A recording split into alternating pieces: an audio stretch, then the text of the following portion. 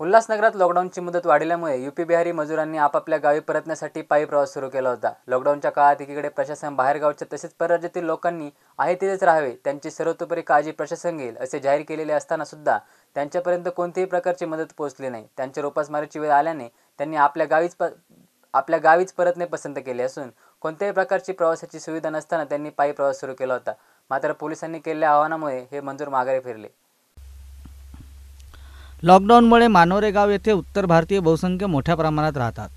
मानोरेगाव येथे राहणाऱ्या अनेक मजुरांवर तसेच उत्तर भारतीयांवर उपासमारीची वेळ आली असून या भागातील आमदार नगरसेवक स्थानिक पदाधिकारी यांच्या दुर्लक्षतेमुळे मानोरे गावात राहणाऱ्या या मजुरांवर उपासमारीची वेळ आल्याने काल मध्यरात्री जवळपास शंभर ते दीडशे कामगार रस्त्यावर उतरत पायी पायी आपल्या गावाकडे चालत निघाले.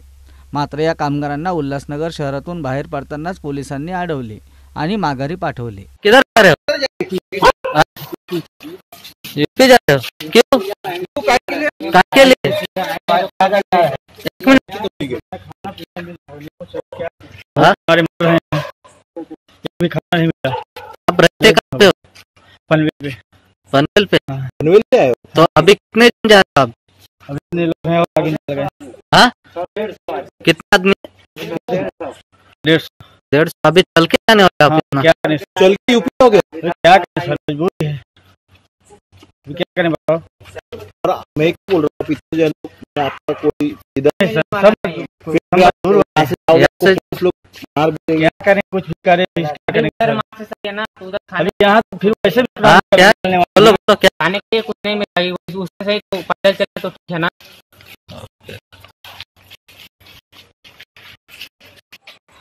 गाँव जा रहे थे क्यों? सर न तो हमारे पास पैसा है न तो भोजन है खाने के लिए। हम क्या करें सर? इस परिस्थिति में हम निकल रहे हैं इधर से और ये भूख कोरोना बाद में आएगा हम पहले भूखमरी में मर जाएँगे। कितने जन है आप?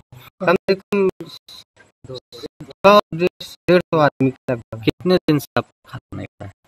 सर एक दिन मिला था इसके कोई खाना नहीं मिला। लिख के कई बार ले गए लेकिन मिला नहीं। पर्चियाँ मिली सब कुछ मिला लेकिन भोजन